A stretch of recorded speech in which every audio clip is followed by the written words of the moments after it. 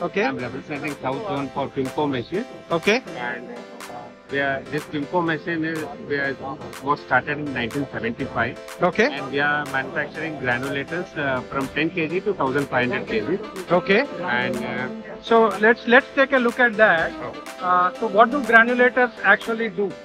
they crush the material actually. That to reduce the volume, to reuse the material actually.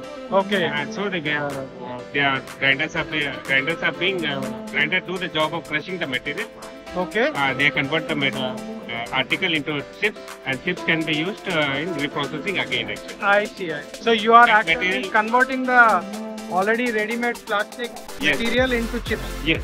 Okay. And the chips can be uh, mixed with virgin or again uh, plastic uh, product conversion. Okay. What is going on here? This is color mixture, dry color mixture. Dry color mixture. 25 kg uh, batch. And uh, this is for dry color. You can put uh, empty the bag in 25 kg material bag in this, Okay. and uh, you can put uh, pigment colors.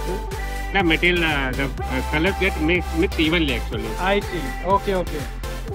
All right. So here uh, we are about to see uh, a demo where uh, these crates will be Yes. uh, converted into these mini chip chips, right? Okay. All right. Yeah. Uh, are you ready? Yeah. Okay, let's see how this works. So they have already put a crate inside. Yeah.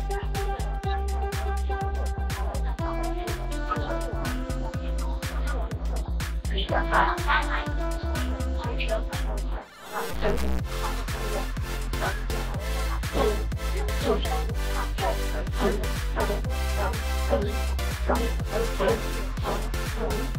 West